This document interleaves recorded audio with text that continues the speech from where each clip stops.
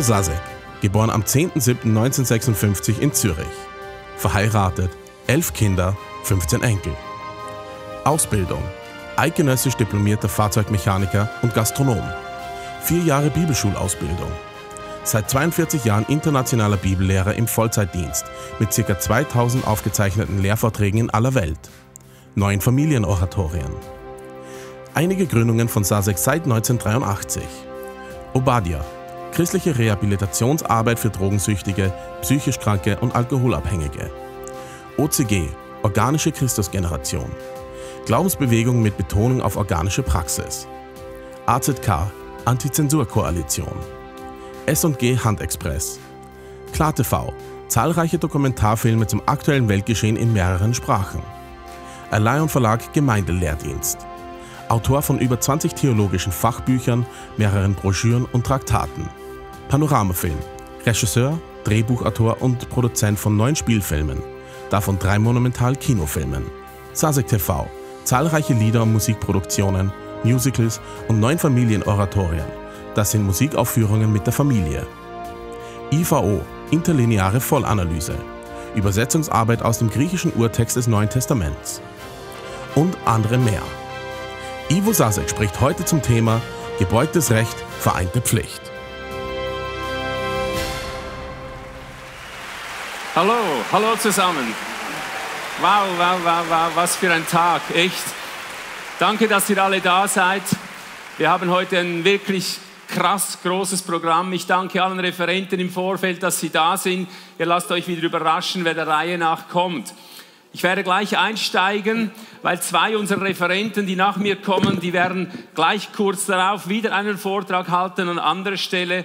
Wir haben heute Prominente zu Gast. Wir beginnen gleich mit einer Standortbestimmung. Okay, seid ihr fit? Okay.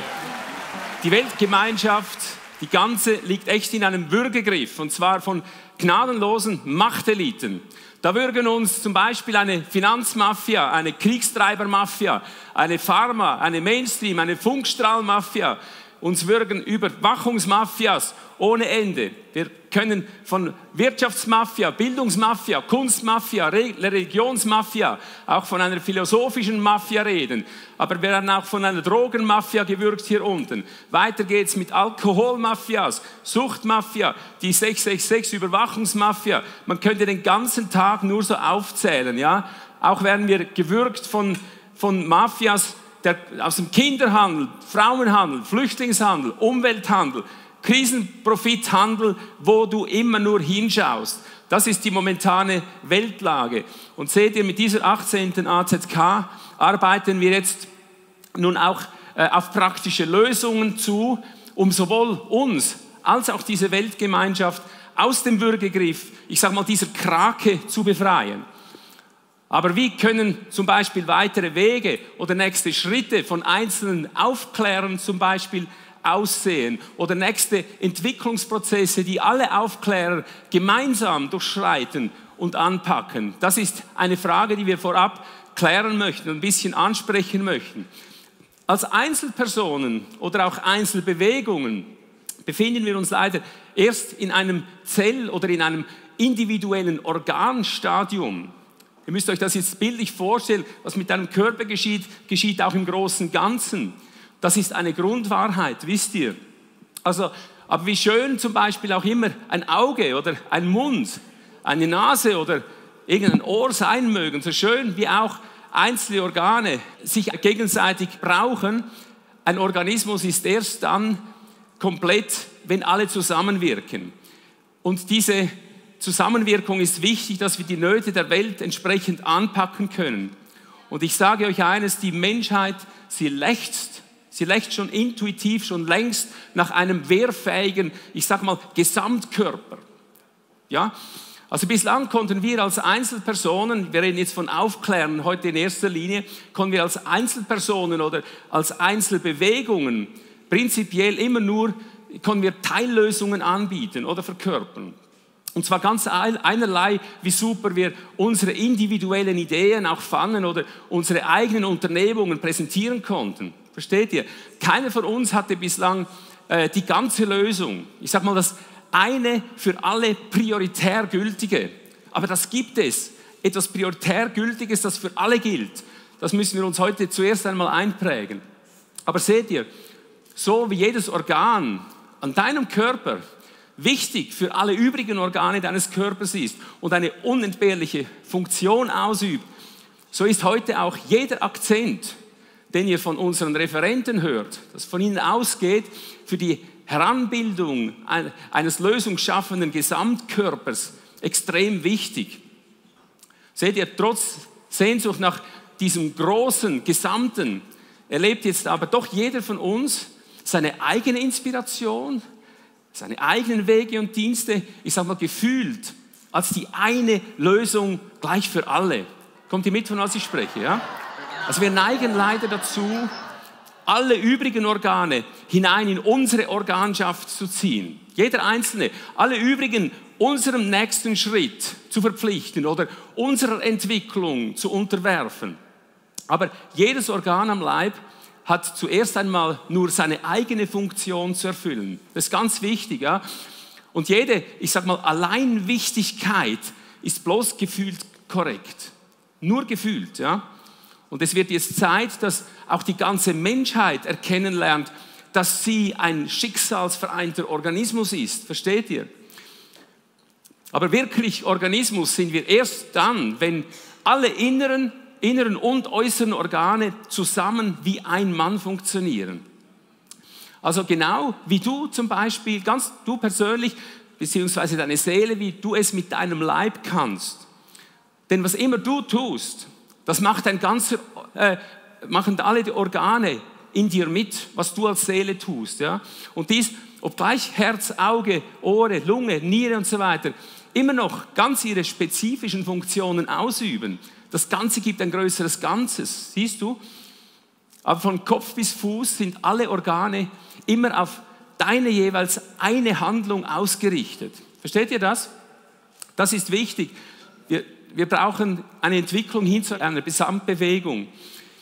Ich gebe jetzt ein paar wichtige Schlüssel zur Erkenntnis und zur Unterscheidung von diesem Werdeprozess. Ja? Während nämlich, jetzt passt gut auf, während nämlich du jedes deiner Organe brauchst, um richtig leben und funktionieren zu können, kommen viele von deinen Organen aber auch ganz gut ohne dich zurecht. Hast du das gewusst?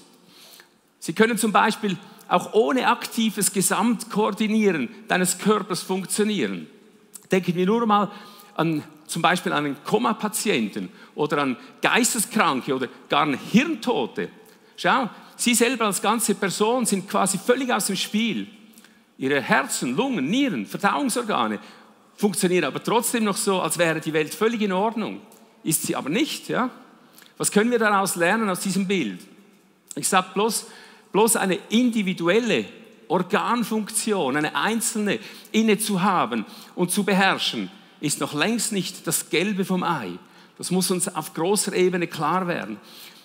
Weil selbst bei total Toten wachsen ja noch Nägel und Organe nach, während sie schon längst im Grab liegen. Versteht ihr? Also täuschen wir uns nicht, möchte ich damit sagen, täuschen wir uns nicht selber, indem wir es gewissermaßen als ausreichend erachten, nur weil wir als individuelle Aufklärungsorgane schon einmal funktionieren. Die Frage ist, sind wir erst ein einzelnes Organ oder ist das Ganze schon zu einem Körper zusammengefügt? Orientieren wir uns bitte immer daran, inwieweit wir schon äh, zur synergischen Einsbewegung werden konnten und funktionell im Gesamtorganismus eingebettet sind. Was ist das Fazit dieser Gleichnisse, von denen ich hier gerade spreche? Keine Aufklärungsgruppe verwechsle ihre spezifische Existenz als Aufklärungsorgan mit Aufklärungsorganismus sein. Das ist ein Riesenunterschied. Ja? Und erst ein komplett ausgewachsener Organismus kann mit allen kohärent zusammenwirkenden Organen seinen Lauf antreten, seinen Weg gehen, seine Werke erfüllen. Also was immer wir schon erreicht haben hier unten, es geht viel weiter, ihr Lieben. Ja? Seht ihr, genau so funktioniert es darum im Großen, im heranwachsenden Menschheitsorganismus. Sowohl unter uns aufklären, als auch hinsichtlich der ganzen Weltgemeinschaft. Ja? Ich nenne jetzt nur gerade mal ein praktisches Beispiel für Aufklärungsorgane, könnte es auch sagen Aufklärungsbewegungen, die gerade in Versuchung stehen, ihr Ding, ihr Ding allein durchzuziehen.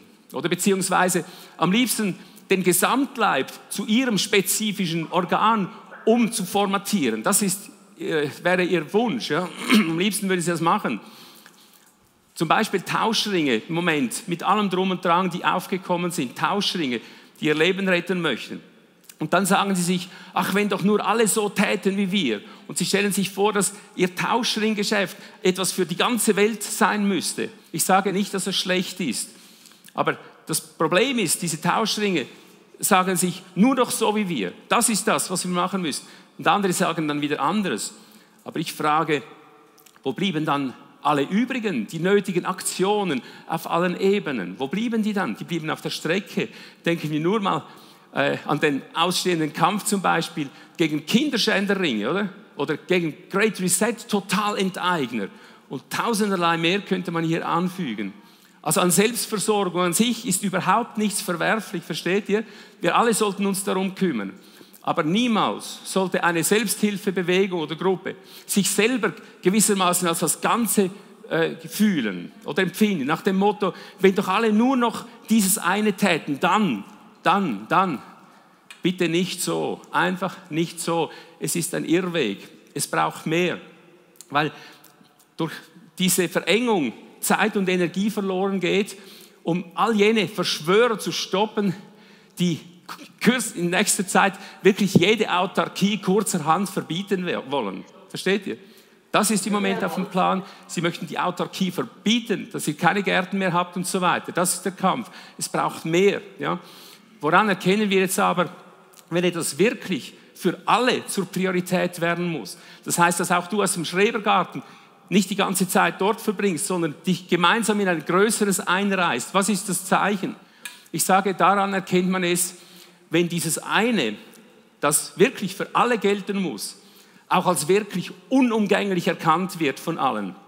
Das ist das Zeichen und zwar so, dass wir alle einfach wissen, dass es so sein muss, dass etwas darüber liegendes nötig ist über dem, was ich selber tue. Also wenn wir wie aus einem Munde sagen können, ich sage mal, das ist es, ja. Wir haben keine weiteren Fragen mehr, das ist es, ja. Und dann gibt es automatisch auch keine gegenseitigen Ausspielereien mehr, versteht ihr? Sondern nur noch ein dankbares Realisieren, dass wir alle dem einen, äh, dem einen oder der einen Priorität verpflichtet sind. Und zwar als eine, ich sag mal, vielgliedrige Armee mit sich gegenseitig ergänzenden Aufgaben und Pflichten. Aber mit gezielten gemeinsamen Schwerpunkten, Prioritäten und auch Handlungen. Also lasst uns heute nach genau dieser Vollgewissheit Ausschau halten, von der ich hier spreche. Wir werden am Ende der heutigen ACK schauen, ob sich schon irgendetwas da heranbilden konnte durch die heutigen Vorträge. Ich sage nur, die Natur drängt uns zum Gesamtwuchs, Gesamtfähigkeit und zur synergischen Schlagkraft, wo alle miteinander noch mehr in eine Richtung schlagen.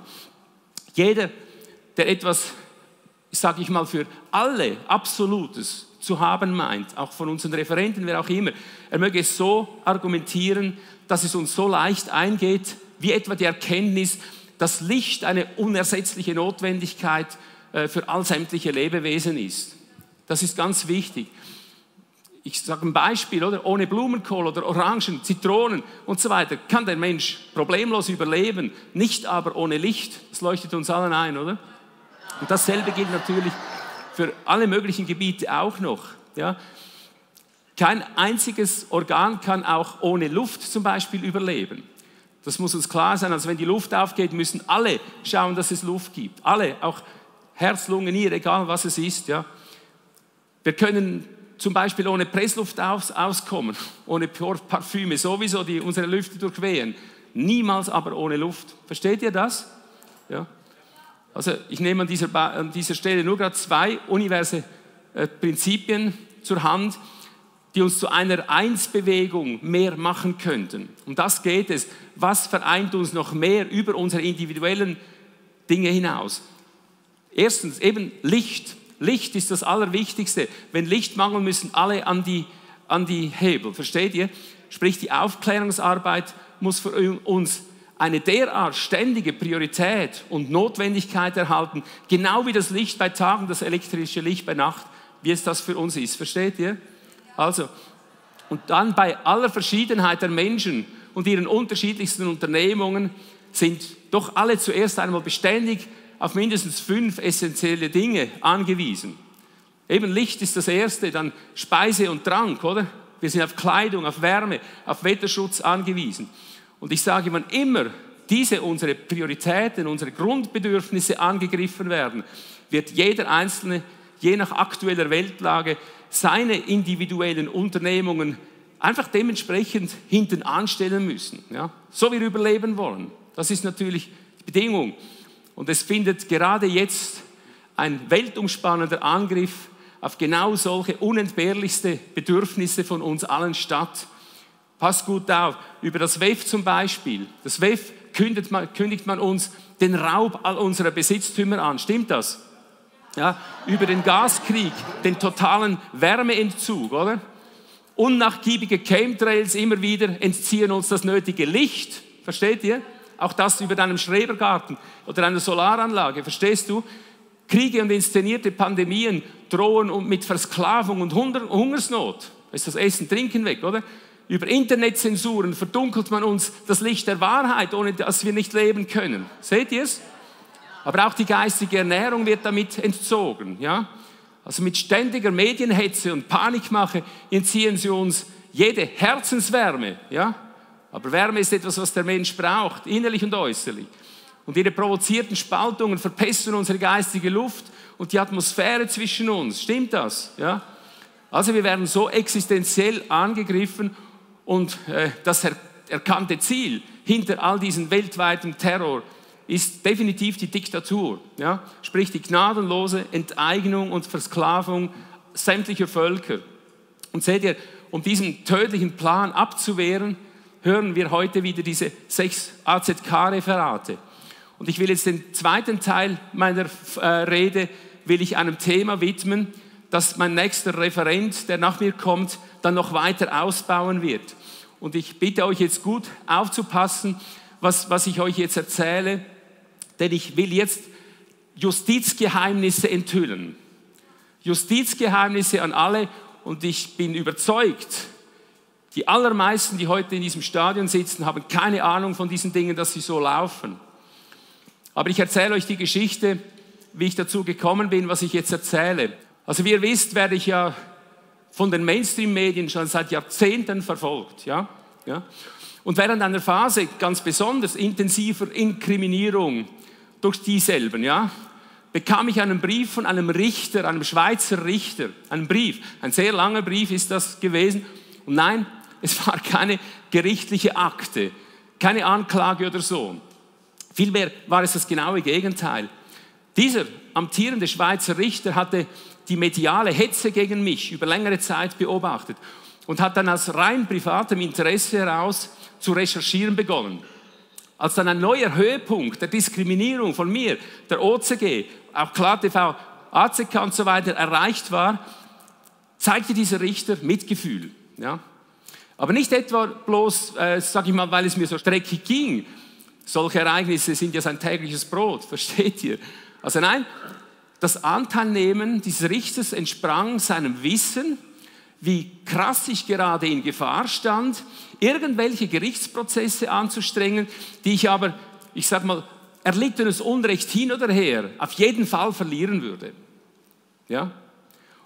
Und ich denke, um mich vor einer zusätzlichen Enttäuschung zu bewahren, hat er mich dann auf mehreren vier Seiten darüber aufgeklärt, eingehend, wie das sogenannte Recht tatsächlich funktioniert und nach welchen Grundprinzipien die Rechtsprechung überhaupt geschieht. Und ich sage euch, beim Lesen dieses Briefes habe ich mich wie ein kleiner Junge gefühlt, dem ein Erwachsener gerade so schweren Herzens erklärt, warum es den Weihnachtsmann nicht wirklich gibt. Ja? Also, soweit mal meine persönliche Geschichte. Aber ein ähnliches Szenario hat sich jetzt auch wiederholt auf internationaler Ebene. Und zwar zusammen mit euch. Ja, mit, genau mit euch. mit den freien Aufklärern zusammen und zusammen mit allen Medien gepeitschten Demonstranten, mit Lockdown geschädigten Völkern und dergleichen. Wisst ihr, weil trotz fast 20.000 aufklärenden Sendungen, schon allein durch KlarTV, über alle möglichen Verbrechen an der Menschheit, also hat sich doch keine Justiz gerührt. Bis dato nicht mit dem kleinsten Finger, mal im Gro gesagt, ja. Und zwar ganz einerlei, ob es sich bei den Anzeigen um Offenlegung von Kriegsverbrechen oder Pharma- oder Impfverbrechen handelte oder um Finanzverbrechen, um Medien, Umwelt oder Mobilfunkverbrechen und dergleichen. Nenne, was du willst. Ja? Und wenn Sicherheitsbehörden dann doch plötzlich aktiv geworden sind und zugeschlagen haben, dann ahndeten sie in aller Regel wen? Natürlich uns. Also gleichsam die angezeigten, äh, sie haben nicht gleichsam die angezeigten Brandstifter, sondern die geahndet, die den Brand angezeigt haben. Versteht ihr? Einfach eine ungeheure, krasse Not, ja. Und das konnte man am allerdeutlichsten bei zahllosen Fällen von angezeigten Covid-Verbrechen sehen, ja. Dann aber auch hinsichtlich angezeigter Kinderschänderringe. Oder also man konnte es an den, äh, den Fällen von angezeigten auch äh, Geheimbundakteuren sehen, bis hin zur Verschonung satanistischer Ritualmörder und so weiter. Also unter dem Strich verweigerten Sicherheitsbehörden und Justiz bis dato fast jede Anhandnahme, sobald es um Anzeigen wirklich großer Verbrechen ging. Ja? Und zwar weltweit. Seht ihr? Und das trotz zum Beispiel 10.000 aufwendiger Beweisstudien, dies trotz hunderttausender Strafanzeigen, eingereichter Gegendarstellungen, auch trotz zahlloser Petitionen, Initiativen, Demonstrationen und so weiter. Unter dem Strich, keine Sicherheitsbehörde setzte sich bisher äh, aufgrund all dem in Bewegung. Ja. Seht ihr, da gab es noch viel mehr, da waren Bücher, Dokumentarfilme, da waren Interviews und dergleichen. Alles hat nichts genützt.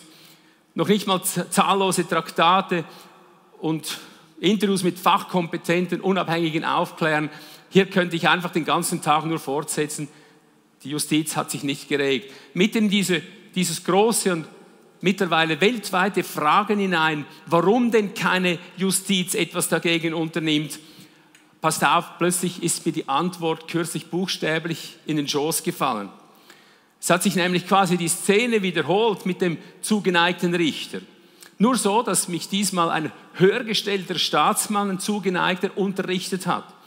Diesmal war er gleichsam der Erwachsene, der mir wie einem kleinen Jungen schonend, aber wirklich gründlich auch noch den Osterhasen aus dem Kopf getrieben hat. Ja.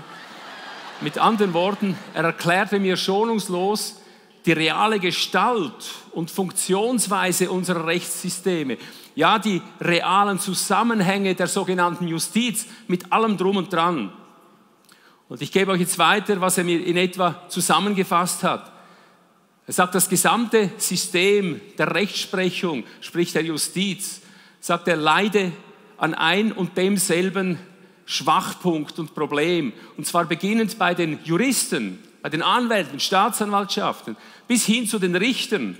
Und zwar ganz einerlei, ob vom Amtsgericht, Landesgericht, vom Bundesgericht oder noch höher. Ja? Also das gesamte Justizsystem bewege sich allein im Sachrecht. Da gründet ein Riesenproblem und müsse daher primär wie eine Firma funktionieren. Müsse, ja. Das heißt nach rein betriebswirtschaftlichen Kriterien und Schwerpunkten. Wie bitte?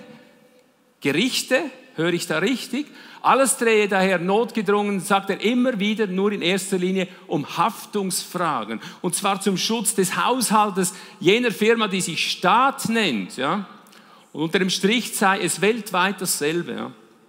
Und weil sich die Justiz sich einzig in Sachrecht bewege, habe sie überall immer die übergeordneten Interesse des Staates, sprich der Wirtschaft, zu berücksichtigen und zu verteidigen. Und nicht etwa das Recht oder Interesse des kleinen Mannes. Das musst du dir mal gut reinziehen, was, hier, was du hier hörst. Alles sei prinzipiell und immer den betriebswirtschaftlichen, sprich staatlichen Ansprüchen zu unterordnen.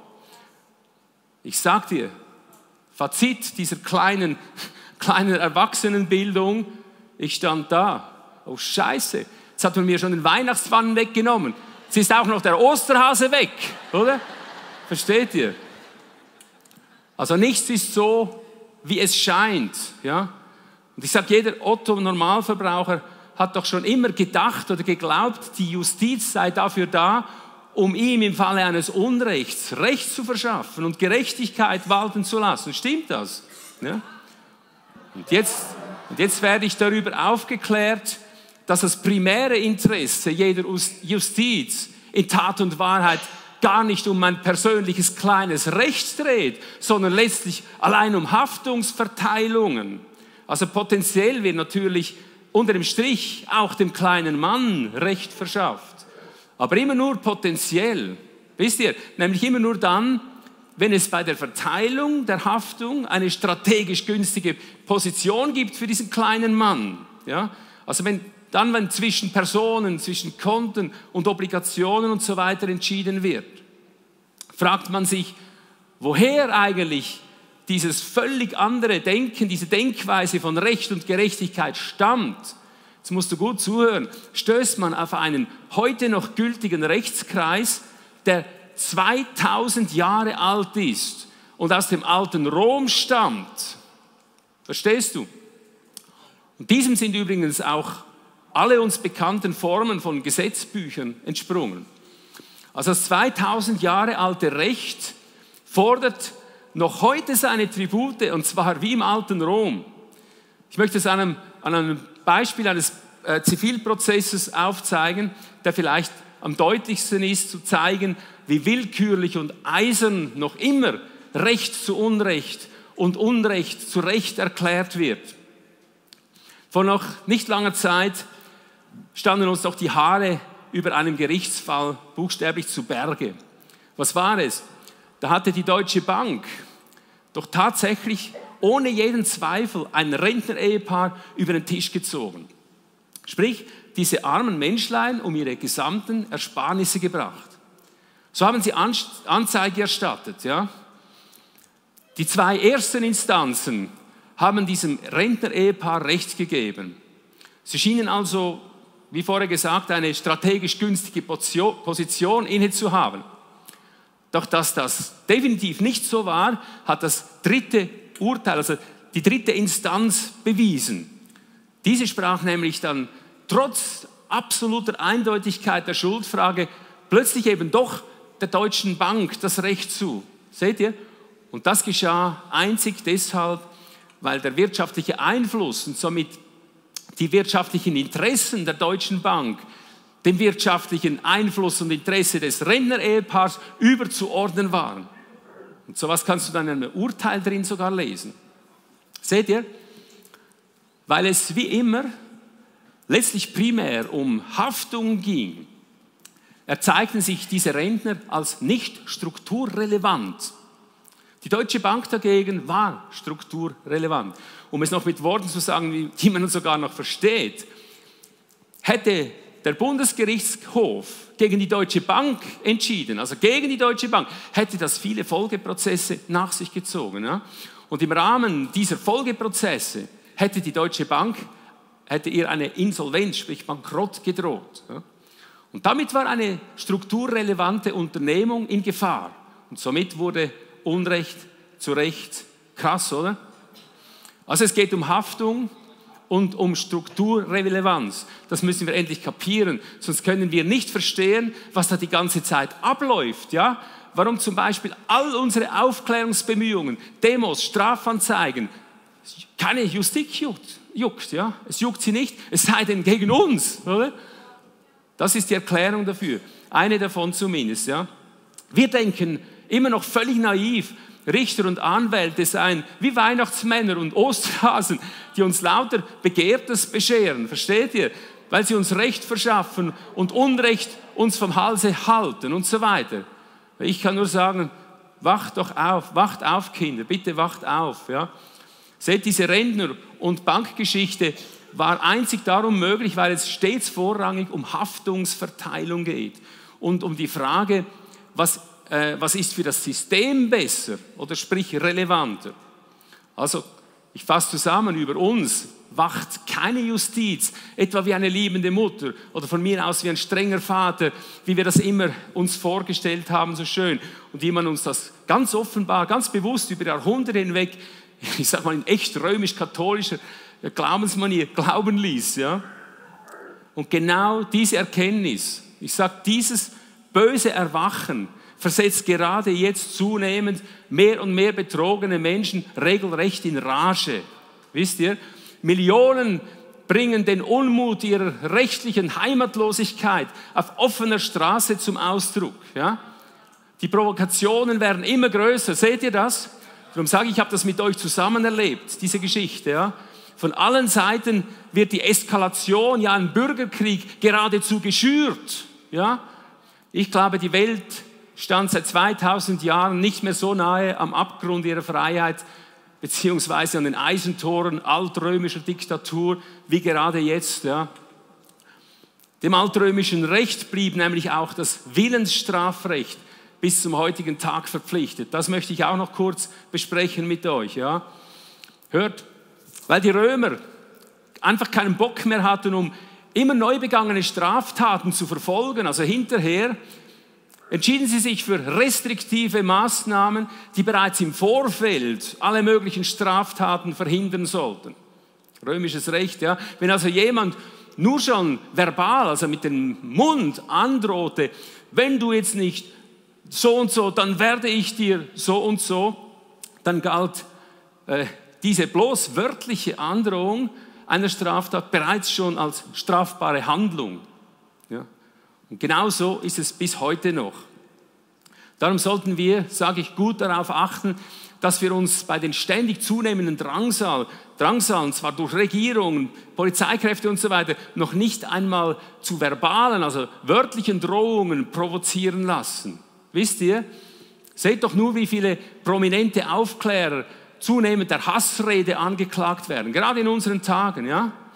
Und genau das ist die Wiedererstehung des alten römischen Willensstrafrechtes. Ja?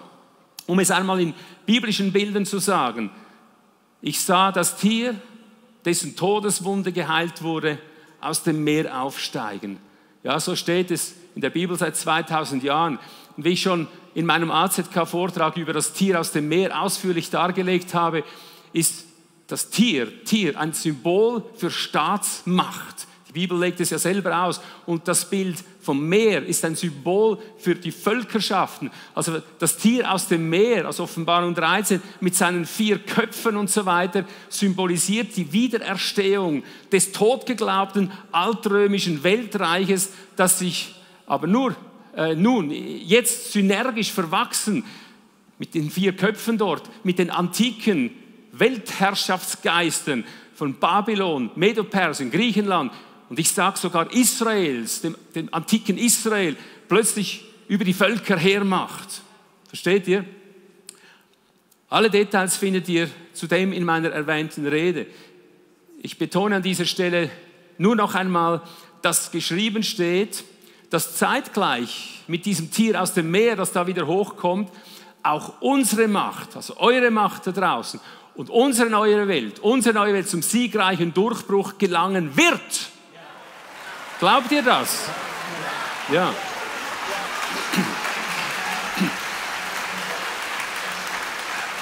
Ja.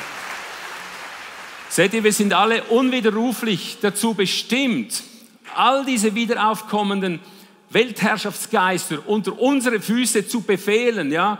Und ich sage euch mit Gewissheit, wenn wir das tun, wird der ganze Himmel mit Sicherheit machtvoll dahinterstehen und das verwirklichen, was wir hier befehlen. Ja?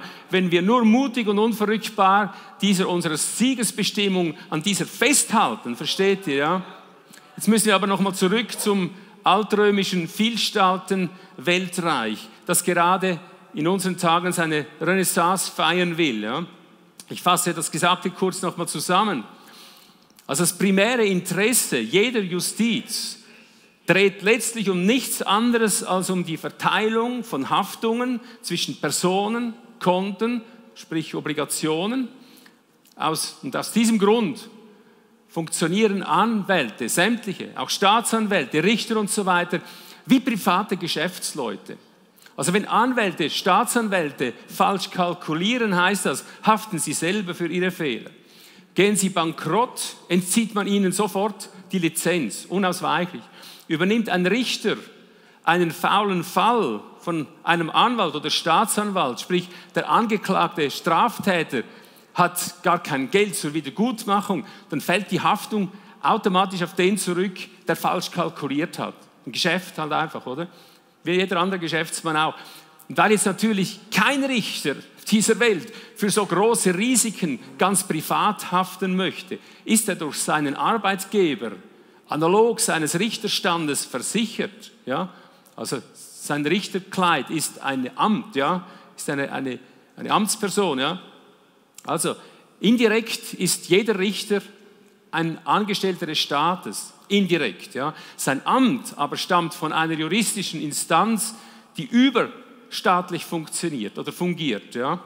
Darüber dann gleich mehr.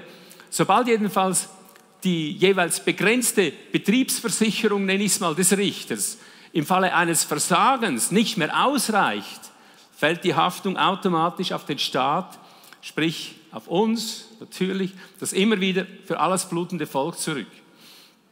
Um aber dieses letzte Schreckensszenario zu vermeiden, waren sowohl Richter als auch Staaten durch jene Firma äh, versichert, die die gesamte Jurisdiktion innehatte. Durch wen jetzt bloß könnte ein ganzer Staat versichert sein, falls ihre, ich sage mal, gleichsam angemieteten Justizbeamten finanziell den Bach runtergehen? Das ist die Frage. Ja? Etwa Zürich-Versicherung oder Winterthur oder Swissry oder was, oder? Nein, ganz nicht, nicht so, ja. Nein, wie es der genetische Wanderzug unseres Rechtswesens ersehen lässt, lag die Jurisdiktion über Jahrhunderte weg, bis noch vor kurzem allein in den Händen des Vatikans. Da staunst du, oder? Auf das vor kurzem komme ich gleich noch zu sprechen. Jedenfalls war der Vatikan Herausgeber von Gesetzen, von Richtern und so weiter. Der Vatikan war mit anderen Worten nicht allein der haftende Arbeitgeber für Bischöfe, Pfarrer und Diakone und so weiter. Er war zugleich römische Firmenunterabteilung oder wie auch immer äh, und befugte Instanz, sogar Richter zu emittieren, sprich Richter als Bevollmächtigte herauszugeben, das Richteramt. Ja. Und ich sage mal, wer, wer zahlt, befiehlt in aller Regel. Das ist der Punkt. Und daher entsprangen dem Vatikan auch zahllose AGBs, der Rechtsprechung. Ursprünglich waren diese natürlich extrem religiös gefärbt, ja, aber nichtsdestotrotz war alles schon immer und einzig unausweichlich auf die Durchsetzung der Vatikaninteressen ausgelegt. Ja? Und weil es noch immer weltweit römisches Recht gilt, sind letztlich alle Justizpersonen, ich sage mal de jure, Angestellte der Firma Vatikan. So läuft das. Und darum haftet der Vatikan auch für seine Angestellten. Aber eben, jetzt kommt ein wichtiger Teil, eben nur begrenzt. Er haftet nur begrenzt. Also nicht die Zürich-Versicherung, sondern quasi die Vatikan-Versicherung war bis vor kurzem noch die zweitletzte Versicherung von Richtern aller Couleur und so weiter. Und durch das Versagen hochrangiger Richter vor allem konnten nun aber ohne weiteres Streitschadensummen in Millionen oder gar Milliarden eintreten. Vielleicht zum Beispiel bei extrem hohen Klagesummen, wie etwa Mordfällen. Die Bondsummen der Richter, also ihre ihnen zur Verfügung stehende Versicherungssummen, konnten mit anderen Worten ziemlich schnell platzen und könnten das noch immer in unserer Zeit allem voran. Ja. In diesem Fall würden dann automatisch den Staaten, sprich uns, den immer ahnungslosen Bürgern, die letzte Haftung aufgebürdet. Wie immer in allem, was ja auch die jüngste Finanzkrise mit ihren erzwungenen Lockdowns wieder sehr deutlich gezeigt hat. Aber jetzt kommt's. Pass auf, ich habe gesagt, es kommt noch was. Per 1.9.2013 hat sich der Vatikan dann aber ganz plötzlich aus dieser Haftung zurückgezogen. Ja? Das war jene seltsame Ankündigung des Papstes in den Schlagzeilen vom 1. Juli 2013. Ja. Diese Aufhebung der Haftung für Richter und so weiter wurde dann allseits sogleich als Aufhebung der Immunität aller Richter äh, und Staatsanwälte interpretiert. Wir dachten auch so darüber. Aber das war ein fundamentaler Irrtum. Der Vatikan hat bloß seine Haftung zurückgezogen. Aber jetzt im Angesicht der bewusst heraufbeschworenen Weltkrise, in der wir stehen, die immer bedrohlicher wird, stehen sich jetzt zwei Fragen, ich sage mal gleichberechtigt gegenüber, was diesen Rückzug des Papstes betrifft, oder? Des Vatikans, ja, besser gesagt. Ja. Frage 1. Hat sich hier bloß der Versicherungs, äh, der, der Captain, der Versicherungskapitän schon einmal vom, als erster vom sinkenden Schiff gemacht, um sich gerade den aufkommenden Finanzskandalen zu entziehen, all diesen Prozessen, die jetzt kommen werden? Hat sich da Captain schon mal vom Schiff gemacht als erstes? Das ist die erste Frage. Oder die zweite Perspektive, die wir gleichberechtigt fragen müssen, oder wurde der Vatikan vielleicht sogar insgeheim vom hohen Ross gestürzt? Vielleicht wie der letzte Papst, oder? Dass das nicht freiwillig war, weiß jeder, der ein bisschen Bescheid weiß. Seht ihr? Denn dieser Vatikan hat ja nun doch über Jahrhunderte hinweg zusammen mit seiner Kirche das Tier, sprich das geheime römische Weltimperium, wider dessen Willen geritten, versteht ihr? Und genau dieses zweite Szenario begünstigt die Bibel, redet davon, sagt sie vor 2000 Jahr, Jahren ausdrücklich voraus, ja, und zwar in Offenbarung 17, 16, ja. Alle dort verwendeten Bilder und Symbole geben exakt den Vatikan mit seiner römischen Kirche wieder. Ja. Und das wiedererstandene Tier mit den vier Köpfen und so weiter wirft dort in diesem Text seine Reiterin ab. Also die steigt nicht freiwillig ab, zieht sich nicht freiwillig zurück, oder? Sie wird abgeworfen, heißt es dort. Darum bin ich für Version 2. Ja? Und zwar wird sie abgeworfen im Bilde einer Nebenbuhlerin, wird sie dargestellt, dort in dieser Offenbarung wird von dem Rücken des Tieres geworfen. Und das Tier wirft sie ab, um sie komplett auszuplündern und schonungslos zu vernichten. Ausplünderung ist dort das große Thema. Ja. Seht ihr, und genau solches hat sich in unseren Tagen schon einmal offen an der römisch-katholischen Religion da drin angebahnt. Wie es jetzt mit dem Vatikan weltweit weitergeht, ja, ob er nun von der neuen Weltordnung die er rivalisiert, ja, tatsächlich geplündert wird. Das dürfte sich in Bälde zeigen. Wir aber müssen endlich einsehen, dass diese Welt längst in die Fänge von Geheimbundsekten geraten ist. Vor allem wegen einer großen Geheimbundsekte. Die ist zwar in sich selber extrem zerstritten, aber dadurch unbeirrt nur umso mehr darauf aus, jeden Kontinent, jedes Land, ja, selbst jede Regierung als ihre kleine Unterabteilung zu betrachten, als ihre Untertanen. Versteht ihr? Und der Vatikan ist leider nur gerade eine dieser geheimen Streitparteien im Hintergrund.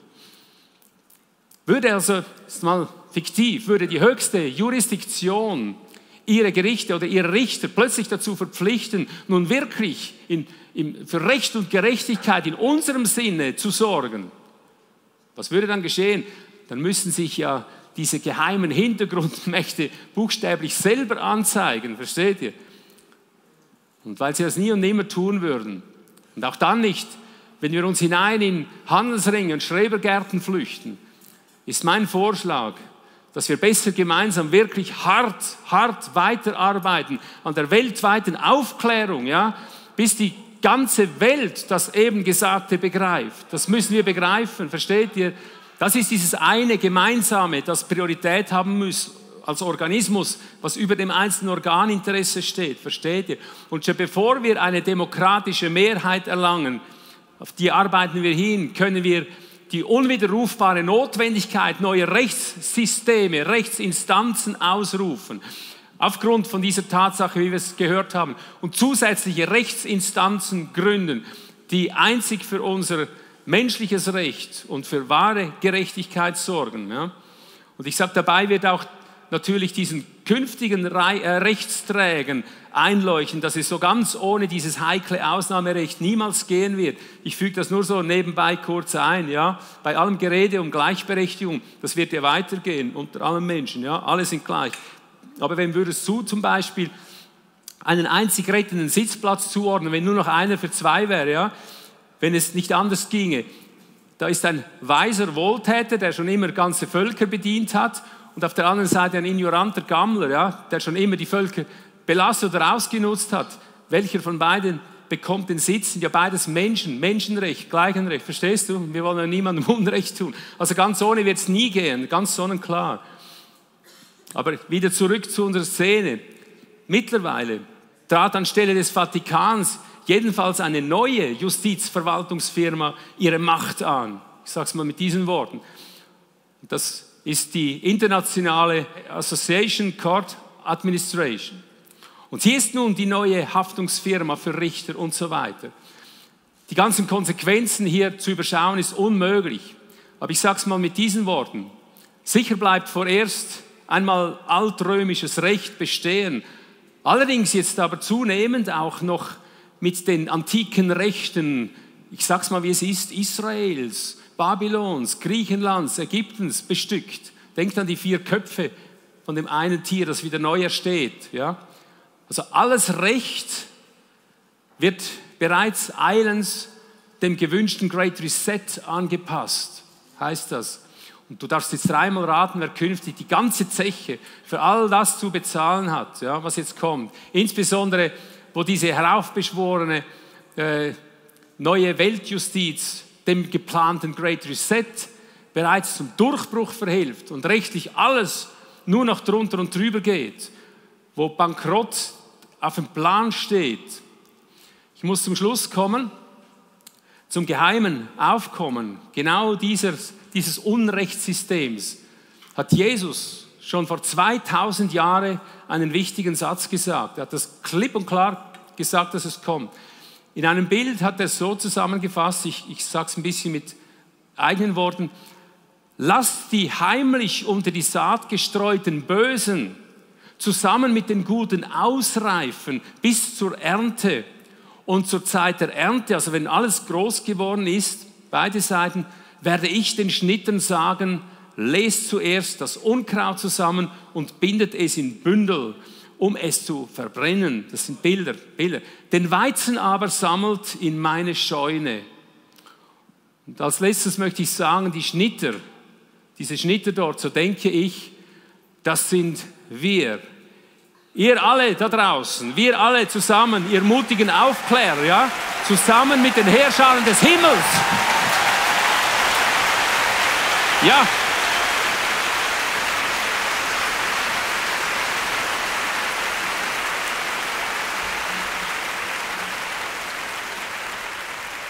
Weil es dann gleich weitergeht in unserem Programm, bitte ich, sind wir einfach mal ein paar Sekunden einfach stille miteinander.